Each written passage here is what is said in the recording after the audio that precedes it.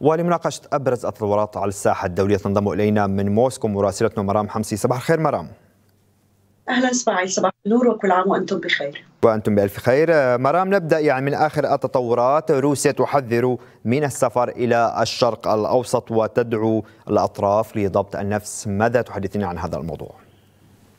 نعم اسماعيل يعني هذا ما صدر في بيان من وزارة الخارجية الروسية التي قالت فيه بأنها تمنع أو تحذر المواطنين الروس من السفر إلى بلدان الشرق الأوسط نظرا لعدم استقرار المنطقة وللتهديدات المستمرة على خلفية الأزمة أو الحرب بين إسرائيل وحماس والتي امتدت إلى مناطق عدة ووصلت إلى لبنان أيضا. ومن خلال هذا التحذير أيضا قالت الخارجية الروسية أنها بصفة رئيسية تركز على منع السفر إلى إسرائيل والأراضي الفلسطينية إضافة إلى لبنان، طبعا إسماعيل هذا التحذير ليس الأول منذ بدء هذه الأزمة في قطاع غزة وإنما في بداية هذا الصراع. وفي أكتوبر أيضا حذرت حذرت الوزارة من سفر مواطنيها إلى الأراضي الفلسطينية وإسرائيل. ولكن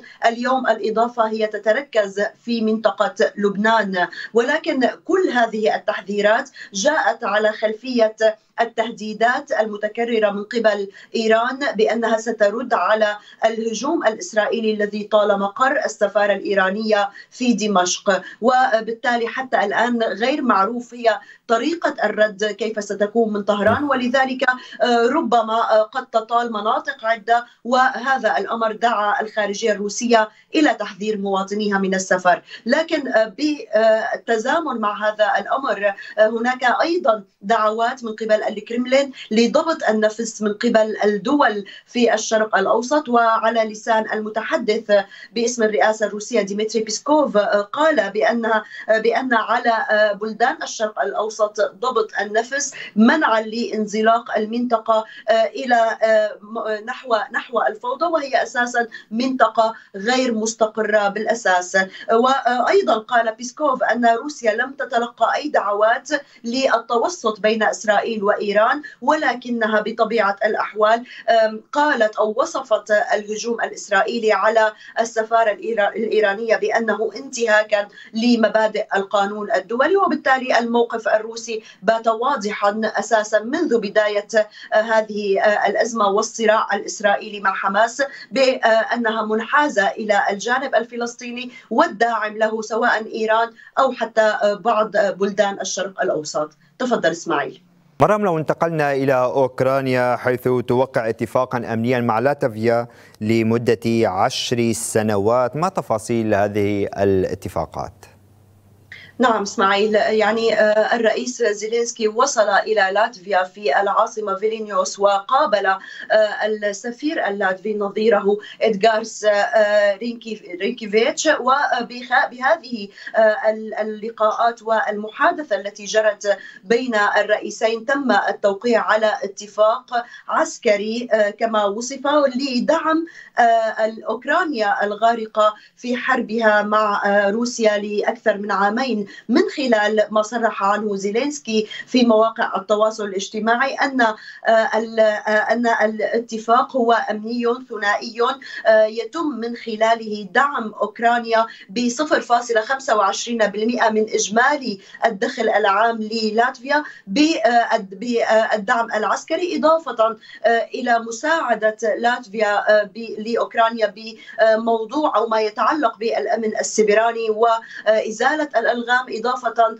إلى تكنولوجيا المسيرات حسب ما صرح زيلينسكي لكن أيضا من خلال هذا الإعلان عن الاتفاق الثنائي كان هناك دعوات من قبل زيلينسكي لتعزيز الدفاع الجوي الأوكراني ووجه مرة أخرى تحذيرات للغرب بأن نقص الذخيرة ومنظومات الدفاع الأوكرانية قد تؤدي إلى نصر روسيا وهذا الأمر الذي عاد إلى تأكيده واستغل فرصة لقائه مع نظيره اللاتفي وإضافة إلى لقائه مع الرئيس الليتواني أيضا الذي أيضا حضر إلى العاصمة اللاتفية فيلينوس وقال بأنه يجب النظر إلى هذا الأمر بجدية لأن أوكرانيا في هذه الحالة ستكون خاسرة وذلك في في غضون أسابيع نظرا للفرق الشاسع للأدوات التي تمتلكها روسيا مقارنة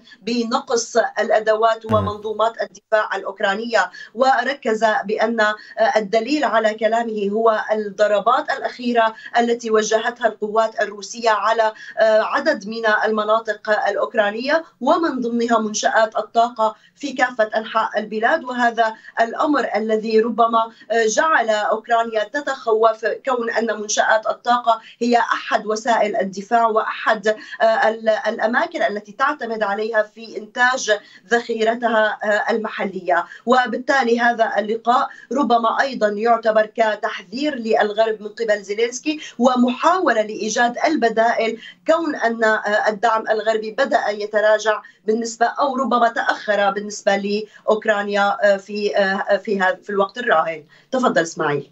مرام في آخر التطورات في العلاقات الأمريكية اليابانية هناك شراكة جديدة بين البلدين اليوم كيف تقرأ هذه الشراكة وهي موجهة ضد من؟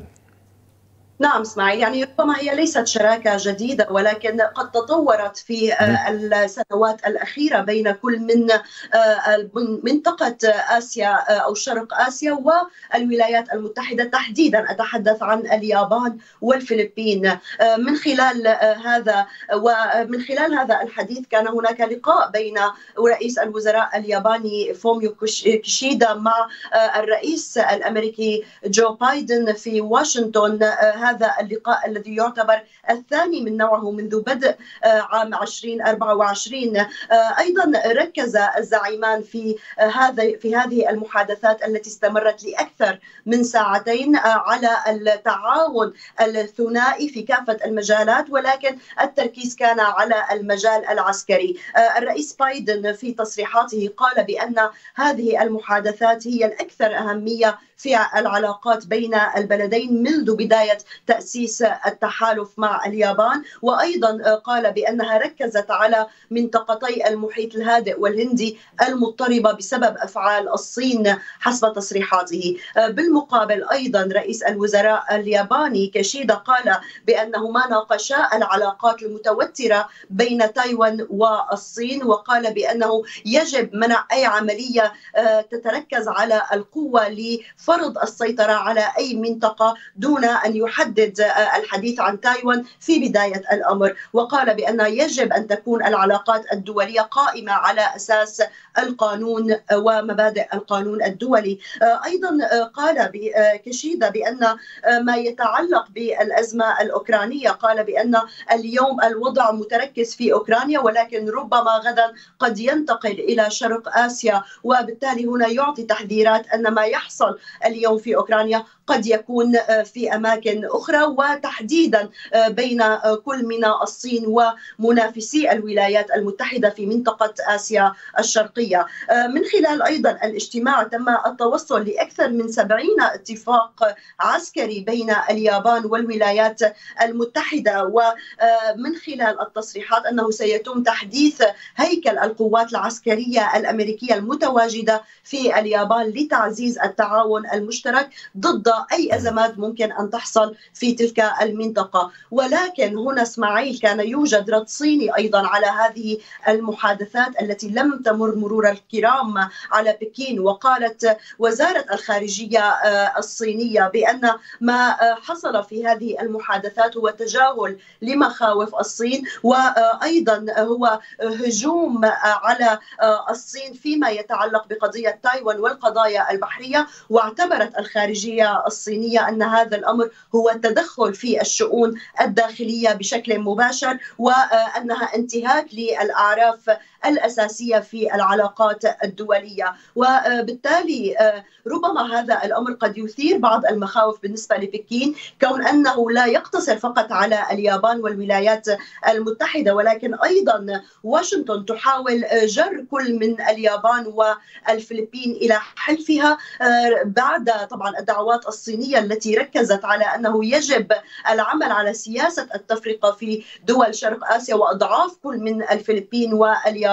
للوصول إلى حصول الصين على تايوان وإعادة ضمها إلى الأراضي الصينية. ولكن ربما بايدن في هذه الاجتماعات التي أيضا رافقت اجتماع كيشيدا اجتماع مع الرئيس الفلبيني والذي انضم إليها أيضا كيشيدا وادت أيضا إلى زيادة التحالفات إضافة طبعا إلى أستراليا في هذه في هذا التحالف المشترك أدت إلى إثارة المخاوف بالنسبة للصين وتحذيرات تطلقها دائما بكين حول أي تحالف يمكن أن يؤثر على خططها في عودة ضم تايوان إضافة إلى محاولة السيطرة على منطقة بحر الصين الجنوبي. تفضل إسماعيل.